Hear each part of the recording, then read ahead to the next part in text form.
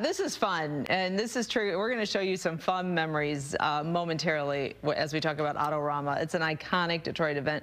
Returning to the Motor City for its 71st year, Autorama 2024 kicks off tomorrow.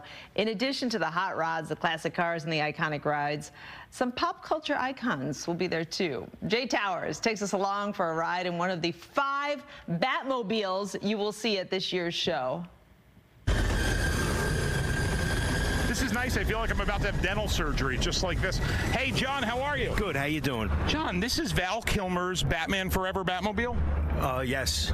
How excited are you to have this thing? Very, very excited. You have the 66 Batmobile, right? Yep. And tell me about the other two. And then you have the um, the Batman Returns car, and you have a couple other from the series that are going to be here.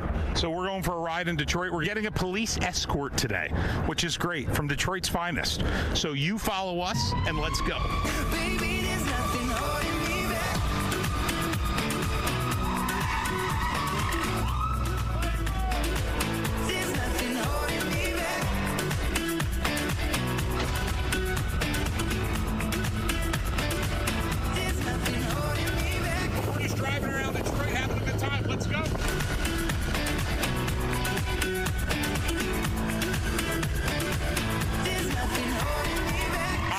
if it gets any better than this. Um, John's been great. What a story. Uh, this is really this. You and these cars and this has been your family. You were a mechanic back in the day. Yep. Yes. Probably still a mechanic. Yeah. Always. Always. My dad started this in 1964 with that yellow hot rod over there, and he put it on the Ed Sullivan Show with the Beach Boys, and we just kept the legacy going and you travel the country, you do charity stuff. But boy, I mean, the excitement you must get when you see the excitement of people seeing these cars. It's, it's a great ride, I got to tell you. How about that? Look at the fins so on that cool. thing. It's incredible, right? Wow, Very what a cool. thrill for Jay, too. Yeah. So, we've got 70 years of Autorama history in our Fox 2 vaults. Photojournalist Doug Tracy found one.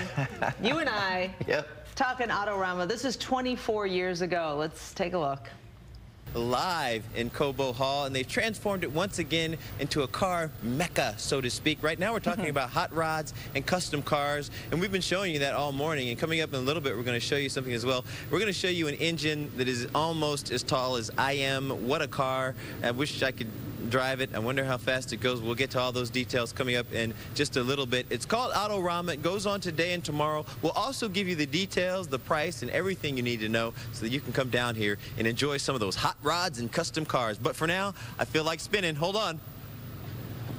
Back to you, Deena. Did you like that? Okay, that was good. I don't know why I did that. I don't know what that has to do with the cars, but I like Absolutely it. Absolutely nothing. Okay. But, uh, it was kind of fun. Yeah. Already. It looks good. Sure. See ya. Me and Deena have been having a good time for 24 years, Deena. Oh. that weekend show was so much fun. Look at Deena's, I'm not going to say it. Yes, yeah. I am. Hair.